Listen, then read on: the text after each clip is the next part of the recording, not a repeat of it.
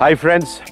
Good afternoon. This is in uh, mid sun. We are over here, and uh, this is a borewell that is in the midst of nowhere.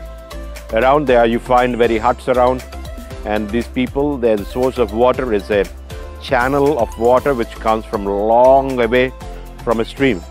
And these people, if you have seen the video, uh, they have a a pot, they, they dig a hole in that stream, they filter the water and they drink it. And because of you, they're having a blessing. Thank you so much for your help. God bless you. గట్టిగా చెప్పలు కొడతానా